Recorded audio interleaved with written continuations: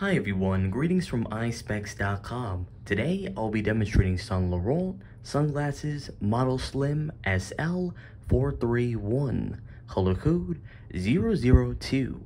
The color of the frame is Havana and the lenses are gray with a rectangular shape.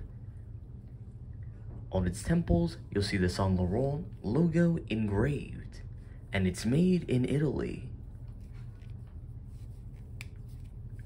57 is for its lenses, 15 is for its bridge, and 145 is for its temple. The glasses come with a case which color and style may vary, a cleaning cloth, and a card of authenticity.